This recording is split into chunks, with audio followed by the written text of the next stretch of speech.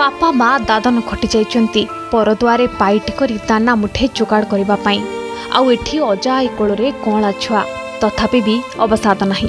ହେଲେ ଅଜ୍ଞାତରେ ଏହି ଦୁଃଖ କେତେବେଳେ ଯେ ଅଭିଶାପ ପାଲଟି ଯାଇଛି।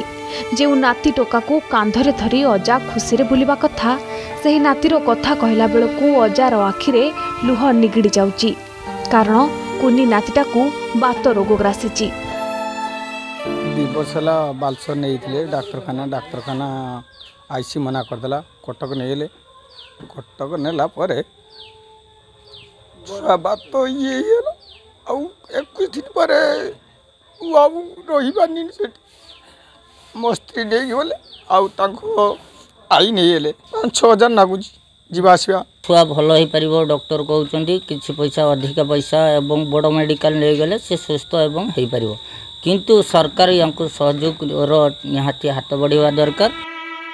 ଏମିତି ଏକ ଅଭାବନୀୟ ଦୃଶ୍ୟ ବାଲେଶ୍ୱର ଜିଲ୍ଲାର ବାଲିଆପାଳ ବ୍ଲକ ବିଷ୍ଣୁପୁର ପଞ୍ଚାୟତ ରସୁଲପୁର ଗାଁର ଏହି ହୃଦୟ ବିଦାରକ ଘଟଣା। ଯେଉଁଠି ଅଜା ଆଈ ଗଣ୍ଡେ ଖାଇବା ପାଇଁ ସଂଘର୍ଷ କରୁଛନ୍ତି ସେଠି ନାତି ପାଇଁ ମାସକୁ ପାଞ୍ଚ ହଜାରରୁ ଛଅ ହଜାର ଟଙ୍କା ଖର୍ଚ୍ଚ କରିବାକୁ ପଡ଼ୁଛି। ଏପଟେ ଡାକ୍ତର କହିଛନ୍ତି ପିଲାଟିକୁ ଭଲ କରିବାକୁ ହେଲେ ବଡ଼ ଡାକ୍ତରଖାନାରେ ଚିକିତ୍ସା କରିବା ପାଇଁ ପଡ଼ିବ। ଯେଉଁଠି ଗଣ୍ଡେ ଖାଇବା ପାଇଁ ଅର୍ଥ ନାହିଁ ସେଠି ଡାକ୍ତର ଦେଖାଇବା ପାଇଁ ଅର୍ଥ କୁଆଡ଼ୁ ବା ଆସିବ? ତା ମା ବାପ ଏଇ ଛୁଆ ରୋଗ ଦିଆ ରହୁଛି ବାହାରକୁ ଚାଲିଛନ୍ତି। ଏ ଛୁଆ ଆମ ପାଖରେ ଅଛି ଏ ଛୁଆକୁ ବାତ ବାହାରେ ଜନ୍ମ କତରୁ ବହୁତ କଷ୍ଟ ପାଏ ଛୁଆ ସବୁବେଳେ ଘିନିକି ଚାଲିପାରେନି ବସିପାରେନି ହାତର ସୁଧା କିଛି ଧରେନି କିଛି ନା। ଘିନିକି ଯେ କାମ କନେ କରିବୁ ନହେଲେ ନାହିଁ। ମାମୁଁ ଘରେ ରହୁଛି ଖଟିକି ଖୁଉଛନ୍ତି ଅଜା ଆଈ ପାଳୁଛନ୍ତି ଆଉ। ଚାଲିପାରୁନି କି କିଛି ନା ବସେନି କି ହାଙ୍କୁଡ଼େନି କିଛି ନା। ଛୁଆ ଚାହିଁ ବସିଛି ବାପା ମାର ବାଟକୁ। ସେପଟେ ବାପା ମାଙ୍କ ଆଖି କର୍ତ୍ତବ୍ୟ ଆଗରେ ହାର ମାନିଛି।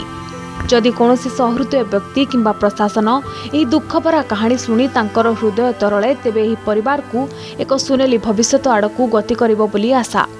ଏହି ପିଲାକୁ କୌଣସି ସହୃଦୟ ବ୍ୟକ୍ତି ସହଯୋଗ କରିବାକୁ ଚାହୁଁଥିଲେ ଏହି ଫୋନ୍ ପେ କିମ୍ବା ଗୁଗୁଲ୍ ପେ ନମ୍ବରରେ ପଇସା ପଠାଇ ପାରିବେ। ବାଲେଶ୍ୱର ବାଲିଆପାଳରୁ ଆଶିଷ କୁମାର ସାହୁଙ୍କ ରିପୋର୍ଟ ଅର୍ଗସ୍ ନ୍ୟୁଜ୍।